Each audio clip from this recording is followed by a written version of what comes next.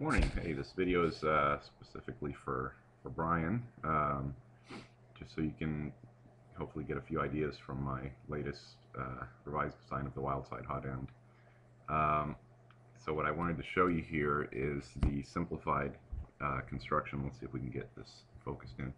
So uh, the main thing about my Wildseyed hot end is that it uses a PTFE rod uh, for the structural support. So this actually goes into the into the extruder body.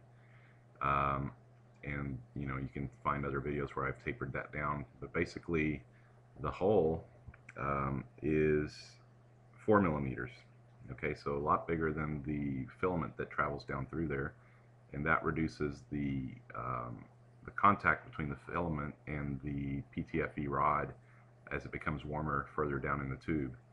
Now down at the very, very bottom of the rod, uh, the hole is not four millimeters, it's actually three millimeters. Um, and actually I, I heat up the hot end and drill that last bit out um, even after I assemble it uh, because the PTFE tends to squish in there and it actually makes the hole very, very small and that tends to bind the filament. Um, so the trick is to get it to be a sort of a watertight barrier, if you will, uh, before the melt pot. But other than that, um, you know, you want you want it to be tight, but not so tight that it totally binds everything and causes the filament to bend up in the cold end of the of the nozzle.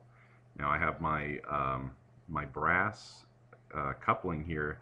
I've actually cut it off right here at this point. There's nothing else from the brass fitting entering the aluminum block. It's all this. I've actually taken off the other part and put a, a, quarter inch thread in there. And this tip that you see now is not the MIG tip anymore. This is actually a quarter inch brass screw that I have uh, screwed in from the other end of the, of the brass coupling here. So I've, I've screwed it in from this side and then I've threaded my aluminum block with a quarter inch and I've put a an M3 or an M4 set screw in and it's slightly off center so that I don't crush anything uh, on the way in. And that's it. And then I uh, used some of those tiny drill bits to uh, drill the end, and then I shaped, then I shaped the uh, the nozzle tip. But uh, the design works extremely well at uh, keeping the filament from getting hot before it enters the melt pot, and that really seems to be the trick to eliminating jams in the in the cold area uh, is to eliminate or reduce, minimize the contact between the filament and the hot end itself uh, before it enters the part where we want it to melt. So hopefully you can get some good ideas from that.